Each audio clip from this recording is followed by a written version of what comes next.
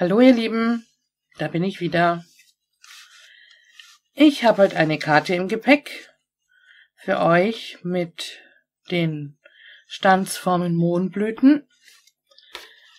Das sind die hier. Das sind aus dem Frühjahr-Sommer-Mini-Katalog. Ich habe jetzt mit denen eigentlich fast noch gar nichts gemacht. Außer jetzt nur mal mit den Blättern ein bisschen gespielt und so.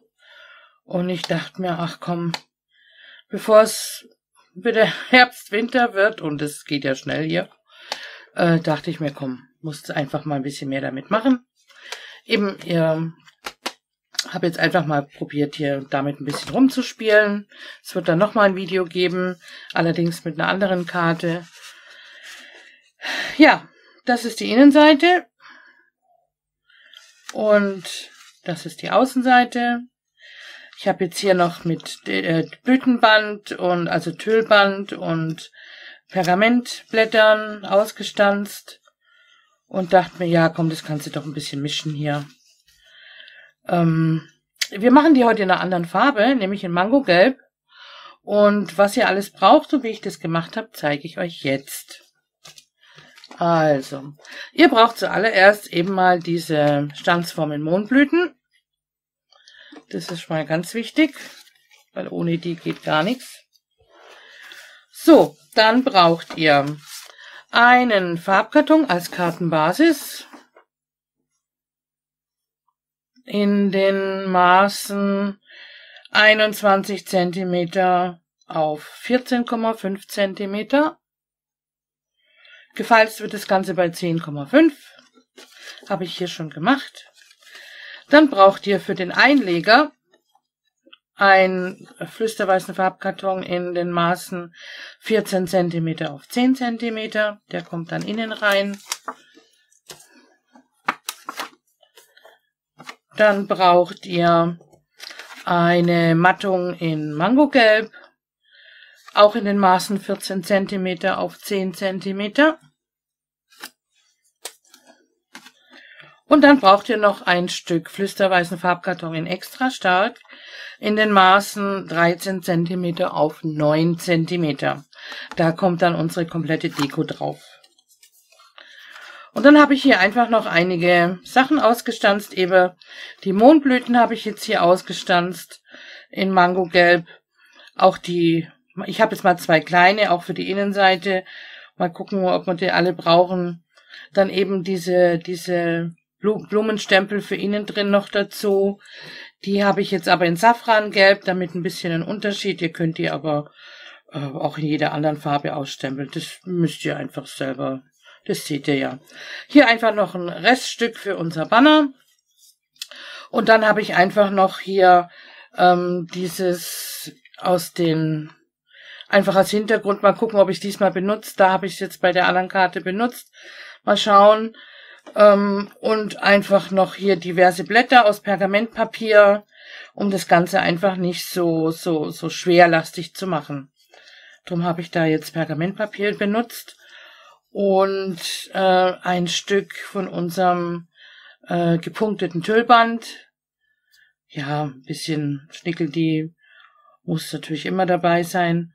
Und wenn ihr vielleicht noch habt, nachher noch Perlen oder ähm, äh, Strasssteine oder so. Aber das seht ihr ja dann. Dann braucht ihr einfach drei. Ich habe jetzt hier drei verschiedene Farben genommen für die Blüten dann darin, die wirklich äh, gut zueinander passen. Das wäre, das ist einmal, ähm, ach ja, ich glaube Osterglocke ist es. Dann Wassermelone und äh, Kürbis. Kürbisgelb, ja, ist Kürbisgelb. Ähm, ja, kommt von den Farben her relativ gut rüber, passt auch zu dem Mangogelb. Äh, ihr braucht dann noch einen Mischstift dazu. Oder, wie, wie, gesagt, ihr könnt es in jeder anderen Farbe auch machen. Das bleibt euch überlassen, ne? So, äh, für den Spruch habe ich einfach genommen hier aus unserem Stempelset Liebe Gedanken, was es aktuell gerade in der Celebration mit ab einem Wert von 60 Euro mit zu bestellen gibt, gratis den herzlichen Glückwunsch. Und was wir natürlich noch brauchen, ist hier dieses Painted Poppies, diese Stempelset. ähm, ist im neuen Frühjahr Sommer-Mini-Katalog zu haben. Alles klar, dann würde ich sagen, fangen wir doch mal an. Ich nehme mir jetzt erst, ach ja genau, ihr braucht noch, äh, ich habe jetzt hier noch drei verschiedene Stempelsets. Einmal Faungrün für die Blätter nachher, die wir noch aufstempeln. Ihr könnt aber auch jedes andere Grün auch nehmen. Dann habe ich hier in Schiefergrau, weil wir die Blüten, die Blumen, äh, die Mohnblume doch recht zart aufstempeln. Und dann habe ich noch äh, Grapefruit genommen für unseren Spruch nachher. Ich habe leider kein Mango-Gelb und ähm, muss mir halt jetzt mit was anderem behelfen. Wenn ihr natürlich Mango-Gelb habt, dann ist es natürlich umso besser. So. Also. Wir fangen jetzt eigentlich zum ersten einfach an, hier unser, unser, ähm, na, ja, das hier einfach zu inken. Da gehe ich jetzt hier einfach nur wieder mit dem Rand da rein, damit es nachher nicht nur weiß auf weiß ist, das Innenleben. Das kommt ja sonst auch ein bisschen, ja. Ich mag es einfach, wenn es da noch ein bisschen Farbe hat. So, da könnt ihr jetzt auch gucken, wie ihr es da am besten, könnt auch ein bisschen mehr nehmen oder so, wie es euch halt gefällt. Und ich tue es jetzt hier auch zum Trocknen ein bisschen auf die Seite legen. Ich muss halt bloß aufpassen, irgendwie tinte ich mich heute den ganzen Tag schon voll. Und das ist dann nicht so toll. So. Jetzt, eigentlich können wir uns die Mattung schon mal komplett aufkleben.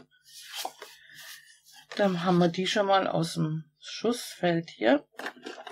Das mache ich mit unserem Kleberoller. Das muss ja nichts aushalten. Das geht ja wunderbar so. Schaut, dass ihr das einfach schön mittig hier drauf bekommt. So. Nicht so wie ich wieder mal schief. Naja, solange, solange man nicht angedrückt hat, ist alles gut, ne? So. Jawohl. Kann man das schon mal auf die Seite legen. So, und dann fangen wir an, unseren unser Dekoblatt so. Na, ich brauche eine Unterlage hier. Ja, hallo. Was wird jetzt das hier? Oh, Mann. Alles klemmt und ach jo. Man hat nur eine Hand zur Verfügung, ne? Das ist halt immer so ein Drama. So. Also, nehmen wir uns hier diese Blumen raus, die hier Achso, ihr seht es nicht, das ist, die hier nehmen wir raus, genau. Machen die auf unseren Stempelblock. So. Und dann nehmen wir uns das Schiefergrau.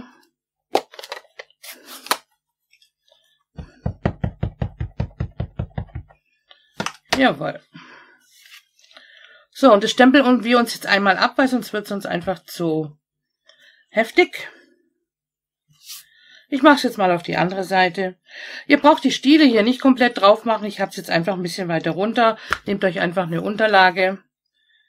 Und also ich habe die Stiele nicht hier komplett drauf gemacht. So. Seht ihr, da ist es nämlich schön zart und mehr wollen wir eigentlich gar nicht. Das reicht uns so schon. So. So, Dele. Und da können wir uns eigentlich das schon mal an, ankolorieren. Jetzt müsst ihr halt einfach nur ein bisschen aufpassen mit eurem Mischstift nachher, wenn ihr hier, dass ihr nicht so in die, in das Grau reinkommt, ne? Ich mache jetzt hier einfach mal so, nur so ein bisschen, äh, erst, ich fange jetzt einfach mal mit Gelb an. Mache jetzt dann nur so ein bisschen. Hier was in Gelb. Da was in Gelb. Hier, die sind auch gelb. Ja, das, wie, wie euch das, wie euch das gefällt, guckt einfach mal. Also wie gesagt, ich male jetzt auch nicht die ganze Blüte aus, weil das tut sich nachher sowieso verteilen. Wenn wir dann äh, mit dem Mischstift rangehen, dann können wir hier eigentlich noch voll. Da haben wir auch noch was in Gelb. So. Und dann mache ich die anderen auch noch ein bisschen gelb, weil ich möchte das nachher mit dem Wassermelone mischen. Da dürfen ruhig auch ein paar gelbe mit dabei sein. So.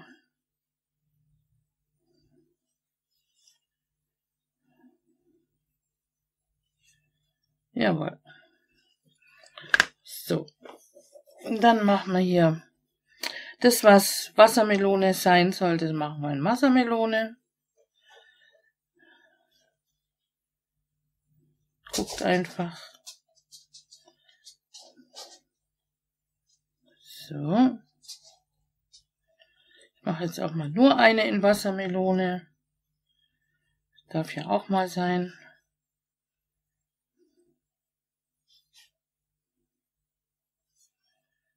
Oder hier. Jawohl.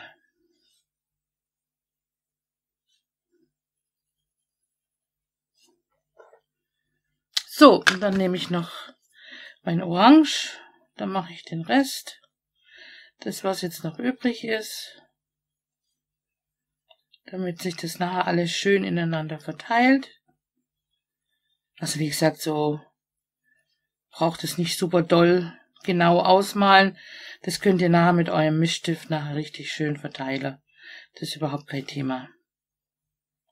So. Einfach nur, damit die Farben hier ein bisschen drinne sind. Und ähm, dann geht es schon wunderbar so. So.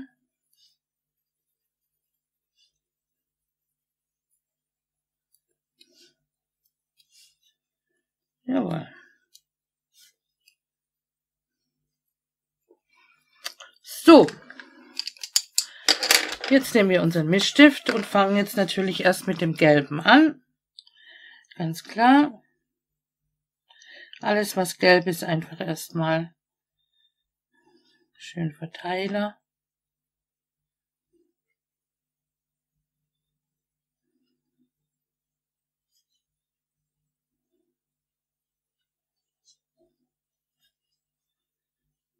Dann sieht es nämlich schon gar nicht mehr so buntstiftmäßig aus. Das ist ja das, was wir so wollen.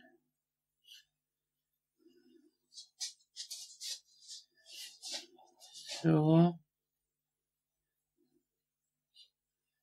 So, und dann könnt ihr eigentlich schon in das Orange dann mit reingehen. Da braucht ihr jetzt nicht extra ausstreichen, weil es soll sich ja sowieso vermischen. Einfach gucken, dass er nicht zu oft drüber geht, weil sonst raut euch das Papier auf. Das ist ja auch nicht das, was wir anstreben, ne? So. Und so verteilen wir uns das eigentlich schon richtig schön. Und dann sieht es auch ein bisschen wie, ja, verschwimmen die Farben so ein bisschen ineinander. Ich finde das noch echt schön. So.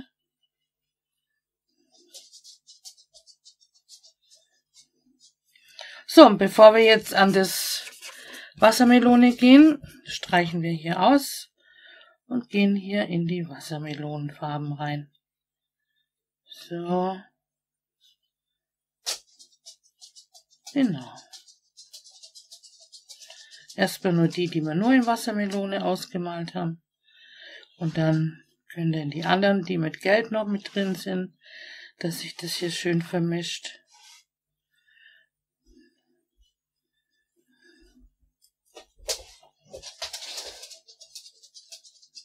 So. Und dann verschwimmen die mit dem mit dem Gelben noch. Und dann sieht es nämlich wie ja, wie, wie so, ja, so bisschen wie Wasserfarben aus, ne? So. So. Das war eigentlich schon der ganze Zauber mit dem Kolorieren. Das haben wir jetzt schon fertig. Dann machen wir uns mal die, die Blätter drauf. Das sind jetzt die hier. Ähm, Wer es jetzt im Faungrün machen will, der kann es jetzt im Faungrün machen. Ich würde es jetzt dreimal abstempeln, aber da gucken wir jetzt gleich mal. Mir ist es fast ein wenig, aber gut. Mal schauen. So.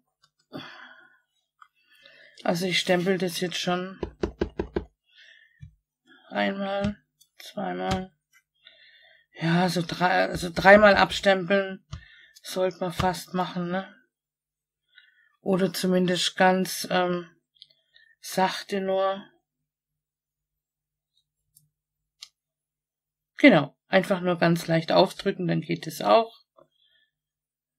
So. Ihr könnt es natürlich auch stärker machen, je nachdem wie ihr wollt. Ich fand es jetzt nicht so toll so. Ich wollte es jetzt nicht so heftig haben. So, genau. Das reicht mir eigentlich schon.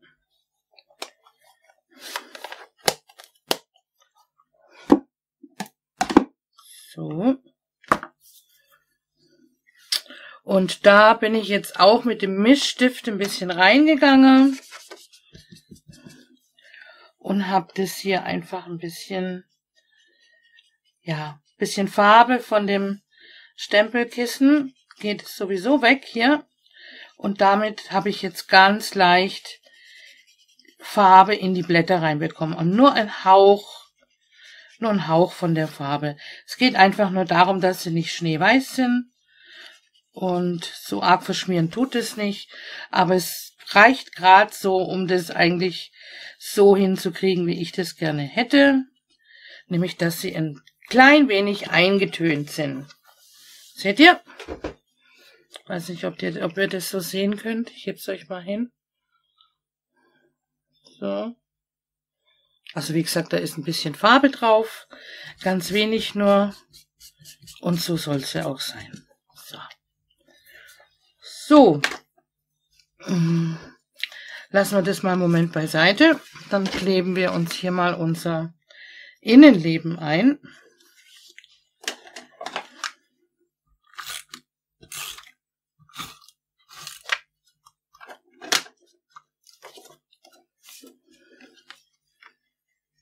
Na, der Hundehaare.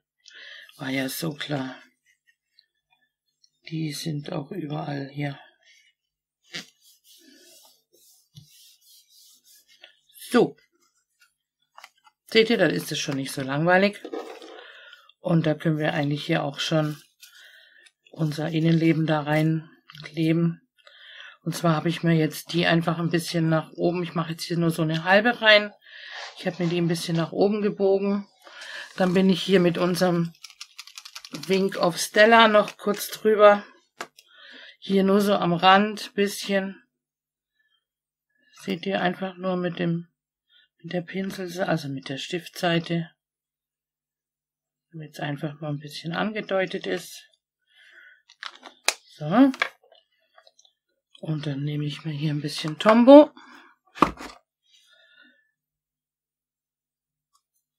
Und klebe mir das hier am Rand rein.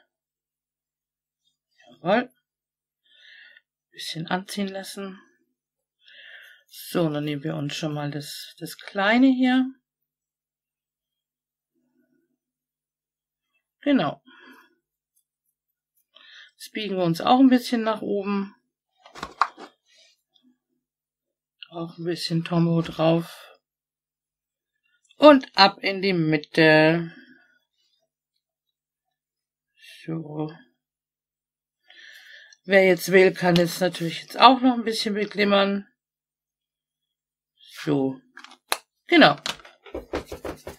Und da habt ihr hier eigentlich schon ein schönes Innenleben, wo sich außen dann wiederholt. Ich finde es noch recht schön. So, lassen wir das auch wieder ein bisschen antrocknen. So, und jetzt kommen wir zu unserem... Ich bin gerade am überlegen, ich glaube, das lasse ich heute weg, das irgendwie... Man sieht, ich finde, das sieht man einfach zu wenig. So, jetzt biegen wir uns eben die Mohnblüte oder besser gesagt nur die Monturen hier, Konturen hier, bisschen nach oben, damit sie ein bisschen nach oben wegsteht. So. Nee, wisst ihr was? Wir kleben das, kleben wir das zuerst auf. Ja, ich glaube, es ist besser. Mit Stempeln sind wir ja soweit fertig. Dann können wir uns das eigentlich auch gleich aufkleben. Und zwar wird es jetzt mit Abstandshalter aufgeklebt. Wo sind meine großen Dimensionals? Hier sind sie. So. Genau. Und da könnt ihr oh, eben. Einmal hier außen. Alle vier Ecken.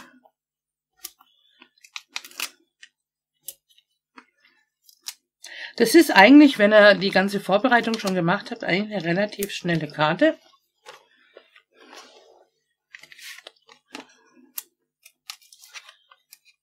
Das Einzige, was jetzt noch ein bisschen auffällt, ist, ist das Kolorieren, aber ach, wir haben auch schon länger koloriert, ne? Finde ich, ja. So, dann kleben wir das jetzt hier mal so schön bündig. Aber ich habe ja mit Absicht ein bisschen größeren Rand gelassen, damit auch man was von der mangogelben Farbe sieht. So, hier mache ich das gleiche mit dem Wink of Stella. Einfach hier außenrum ein bisschen, dass wir hier einfach ein bisschen Schimmer haben, damit es nicht ganz so langweilig ist. So. Und dann kleben wir die uns auch mit Abstandshalter, mit unseren Dimensionals, kleben wir die jetzt auf die Karte.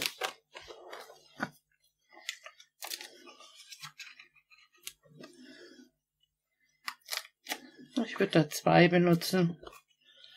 Für alle Fälle. Man weiß ja nie. So. Die habe ich mir jetzt so da oben positioniert. Nee, machen wir hier. Positionieren wir hier. Da könnt ihr ja Spieler, das seht ihr ja dann. Also, da ist ja wirklich, äh, ist ja wirklich alles frei, wie ihr das, das haben wollt. So, jetzt nehmt ihr den Blütenstempel in der Mitte. So, ein bisschen biegen einfach. Nehmt euch jetzt da an äh, Glue dort, Mini-Klebepunkt und drückt das jetzt hier an und dann könnt ihr das auch schon so aufkleben, hier in die Mitte rein. Und da kommt dieses hier, kommt auch noch mit rein. So. Das kann man da gerade auch noch machen. Na komm. Nein, ich will dich in der Mitte haben. Genau. So. Da habe ich jetzt auch noch ein bisschen. Jawohl. Pink of Stella. Na, ihr wisst. Okay. So. Äh, weiß nicht. Sollen wir die noch mit dazu machen? Ach, ich weiß. Jetzt, jetzt warten wir mal bis zum Schluss. Vielleicht fällt mir ja noch eine zündende Idee ein. So.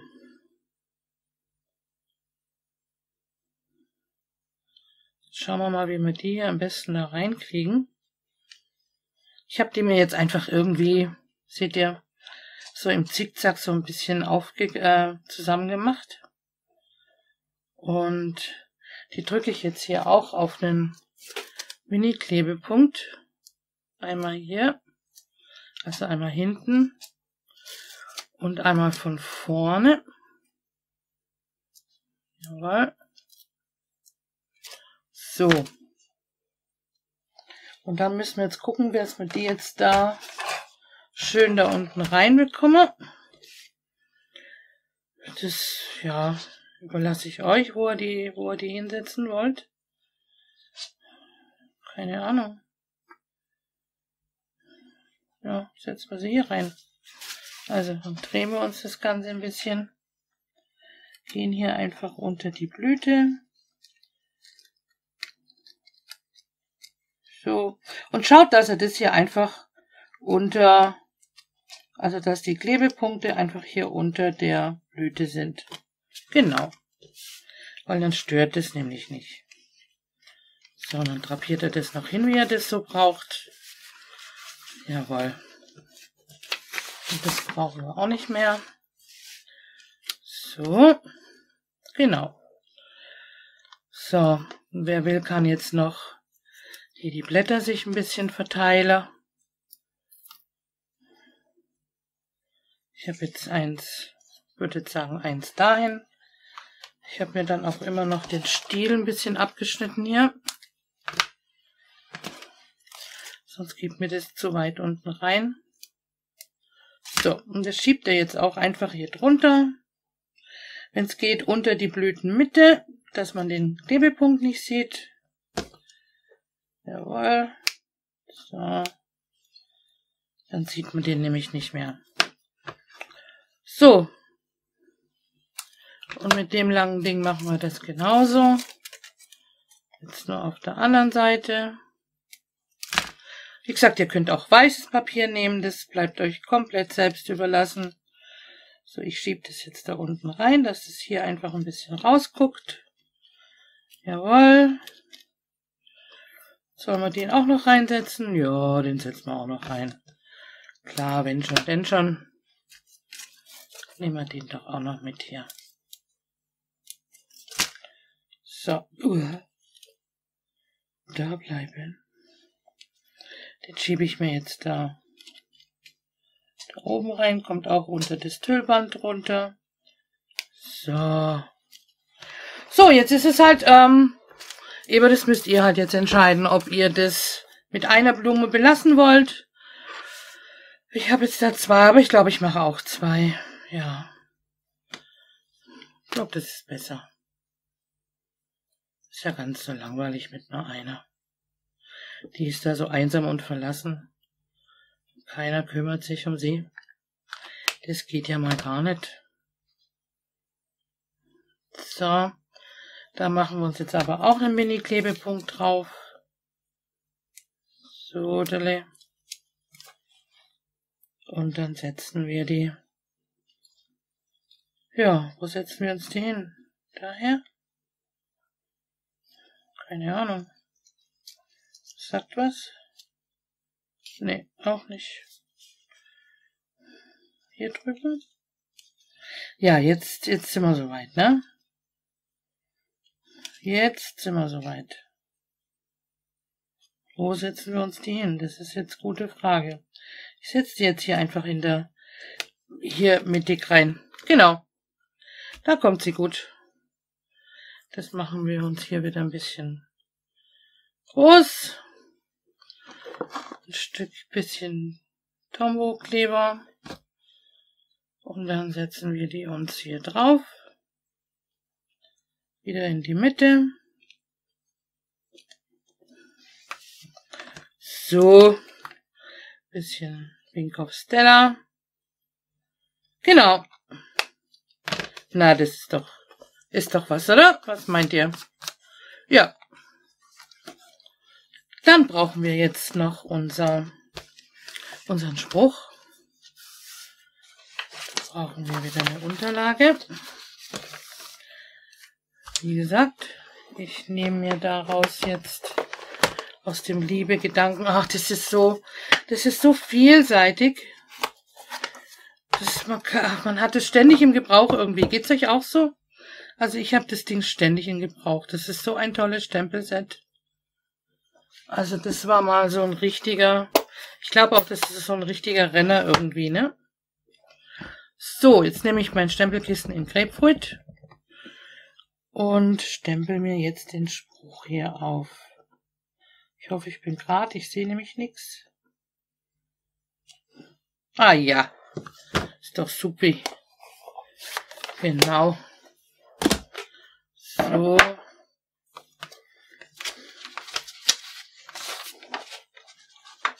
Dann auch weg. Dann machen wir uns den jetzt hier einfach noch von dem, wie man brauchen, von der Länge her. Ich will den ja nicht so groß haben. So. Obwohl, hier oben könnte es schon noch ein bisschen... Etwas weniger darf es hier oben schon sein. Aber ich habe es nicht so mit dem Gradstein. Ja, hätte ich nur gleich meinen mein Schneider genommen. Aber ja, so geht's auch. Ein bisschen noch. Moment. So. Ja, so ist okay. So, und das kleben wir uns jetzt da unten hin. Ja, dann sehen wir auch noch was von den Blumen. Und dafür mache ich jetzt einfach nur den oberen Teil mit Kleber. Den unteren nicht, weil der steht ja eh in der Luft. Und damit es nicht ganz so rumquillt, verteile ich das hier mit dem Finger. Ja, ist nicht so toll, aber was tut man nicht alles? So. Na. Jetzt. Genau. Guck, dass es gerade hinkriegt. So. Und jetzt brauchen wir natürlich noch ein bisschen Bling Bling. Das ist natürlich klar. Und dazu nehmen wir uns unsere Strasssteinchen. Ich habe jetzt hier die kleinen genommen. Machen wir uns hier einen hin. Und hier. Hm, hier, ja, da. Und weil drei einfach eine tolle Zahl ist, machen wir uns noch einen dritten hin. Prima. So. So, so schnell geht's. Das geht doch ratzfatz hier. Seht ihr? Das ist doch mal richtig schnell. Ihr habt hier zwei verschiedene Karten. Einmal in Wassermelone und einmal in Mangogelb. Und ich muss jetzt ehrlich sagen, ich könnte mich jetzt nicht entscheiden. Also ich finde beide von der Farbe her echt toll. Muss ich sagen. Gefallen mir echt sehr gut. Das war's schon wieder von mir. Alle Materialien, die ich verwendet habe und alle Papiermaße findet ihr hier unten in der Infobox. Und äh, ansonsten, wenn es irgendwelche Fragen gibt oder ihr bestellen wollt oder sonst irgendwas, dann blende ich euch jetzt hier meine E-Mail-Adresse ein. Ja, und dann wünsche ich euch eigentlich noch einen schönen Tag für heute und bis zum nächsten Video. Tschüss!